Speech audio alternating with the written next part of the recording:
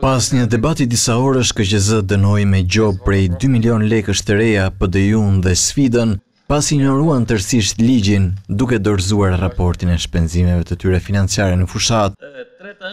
Një gjobë më të lehtë prej një milionë lekësh të reja morën PS, PD, LSI, PSD dhe Aleanca Demokristiane për shkak të pasaktësive. të evidentuara në raportet e tyre. Një prej mospërputhjeve kryesore të evidentuara nga KQZ kishte të bënte me kontratat e lobimit të Partisë Demokratike, ndonëse administrata e këtij institucioni pranoi se në këtë rast i referohej deklaratave publike të bëra në media, gjë që ndezi debatin në sallë. të konsultojnë raportin e ekspertimit, të konsultojnë raportin e monitorimit dhe të konsultojnë dhe partitë politike. A doni të bëni transparencë?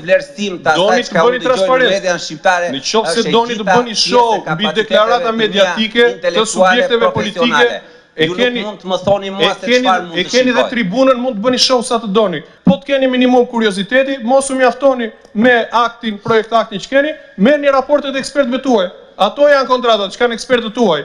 Në projektvendimin fillestar të hartuar nga Komisioni Qendror i Zgjedhjeve, ishte parashikuar që partive si PS, PD dhe LSI t'u lihej dhjetë ditë kohë për të sqaruar pozicionin e tyre Por kjo u cilësua nga nënkryetari Biba si një favor i kryetarit Zguri ndaj Partisë Demokratike, për të futur brenda shinave të ligjshmërisë kontratat e lobimit në Amerikë. Është një tentativë për të rifutur në ligjshmëri në kundërshtim me ligjin këtë subjekt thyes të ligjit për deklarimin e shpenzime në kuptim të ligjit për partitë politike dhe Komisioni Qendror i Zgjedhjeve nuk duhet të bjeri në këtë lloj niveli që t'i bëjë avokatinë Partisë Demokratike U bë e disata herë, e disata herë që komisioni vihet plotësisht në shërbim të Partisë Demokratike, po kjo gjë nuk ka më kuptim sepse po qelb.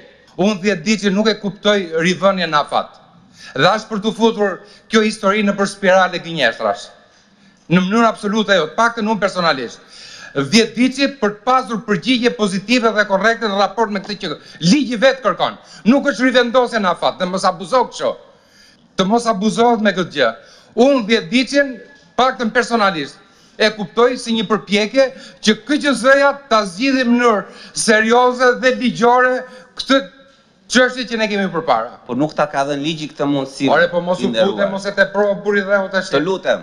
A kam ndonjë të drejtë që unë si anëtar të kem të gjithë informacionin e duhur për të marrë një vendimmarrje korrekte? A e kam këtë drejtë apo s'e kam? Pse ti do ma heqësh mua këtë? Gjatë diskutimeve, nënkryetari Biba ishte ai që propozoi dënime më të ashpra për të gjitha partitë, Duke filluar me nga katër milionë lekë gjobë për PD-jun dhe Sfidën, si dhe dy milionë për partitë e tjera, ndërsa kishte dhe një shtesë rënduese për kontratat lobuese të PD-së, propozimi i tij u rrëzua. Në lidhje me Partinë Demokratike, detyrimin për t'u gjobitur me sanksion në vlerën dy milionë lekë, në lidhje me mos me refuzimin për të bërë transparent, njëlloj si kundër PS dhe LSI, si dhe tridhjetë për qind të shumës së dhuruar prej gjashtëqind e shtatëdhjetë e pesë mijë dollarëve në kuptim të pikës gjashtë të nenit njëzet e tre katër, sepse ka pranuar fonde jo publike me vlerë më të madhe se njëqind mijë lekë dhe transaksioni nuk është kryer përmes llogarisë bankare të depozituar pranë Komisionit Qendror të Zgjedhjeve. Por ama nuk mund të lëmë thjesht na erdhi një informacion edhe ta fusim në vendim një vendim që duhet ta nënshkrojmë i cili ky vendim ka është titull ekzekutiv ky ky menjëherë do vëjë dorë mbi pasuritë e partive politike dhe me një llaf goje që mund të na vijë një informacion do të do të veprojmë në këtë mënyrë Kush është dakord me propozimin e nënkryetarit? Tre vota pro kundër, katër rrëzohet.